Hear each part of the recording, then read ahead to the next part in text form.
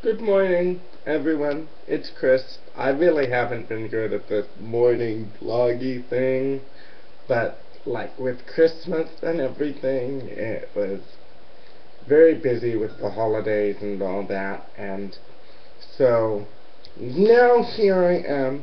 I hope you all had a good Yule and a good Christmas, and New Year's is around the corner.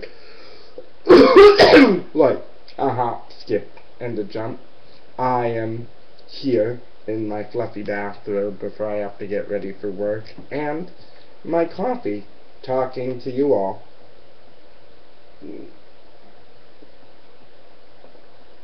Today I want to talk about knowing your limitations, and I want to talk about that not in the sense that I think we have limits so we won't accomplish things, but limitations in the sense of being reasonably aware of how much you will and will not take on as one person. Whether that is in a job, whether that is other people's drama, whether that is whatever the case may be. Being aware of how much you can handle. I think sometimes we get wrapped up in responsibilities and things we have to do that we don't and I think and I think some of that is self-imposed too. Things we feel like we have to be responsible for whether it's other people for their job responsibilities or what have you. Rather than you know making sure we take on what we can and then also have time to take care of ourselves.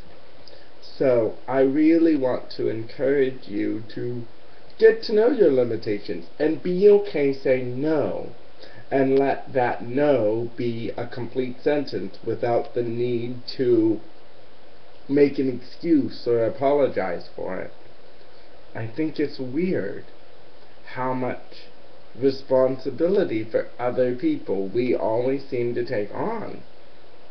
And it's not to say that, you know, we shouldn't help other people. It's not to say that we shouldn't be there for other people. It's not even, you know, to say any of that.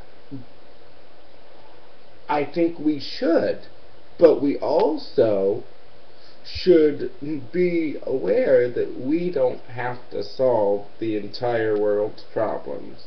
That we don't have to pick up everybody from any situation and that we are not responsible for cleaning up after other people. We're not. I mean, sure, it's fine to help and it's fine to do what you can, but ultimately, you're not responsible for somebody else's happiness. You're not responsible for cleaning up somebody else's problem, and you're not responsible for taking on responsibility that isn't yours to handle. So, today, I'd like you to think about that, and I'd like you to think about the core responsibilities of your life to yourself, and the things that you have to do. And then I'd like you to make a list of all the things that you make yourself responsible for, but actually aren't. And then I'd like you to think of better ways in which to take care of yourself. Um, so, I'm sorry, I'm dying over here. Um, so that's what I'd like you to do today. And at the fun fact, at the end of this video, for the end of this video, my fun thing, not fact, I want to know what you guys are doing for maybe New Year's, and I want any new, good New Year's resolutions you have. And I will, and I will tell you mine.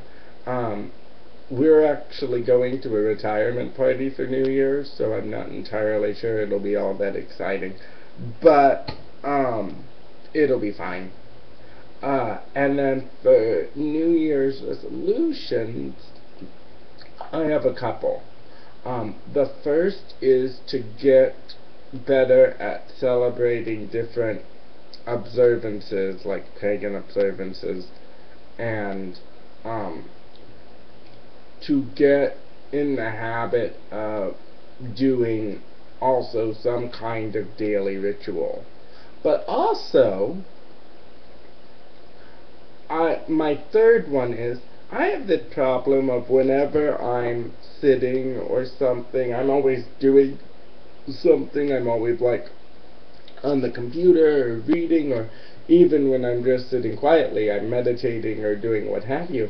Um, I don't ever just sit and be still without doing something. So one of my New Year's resolutions is to find space in my day where I can just sit and not do anything and just see what happens.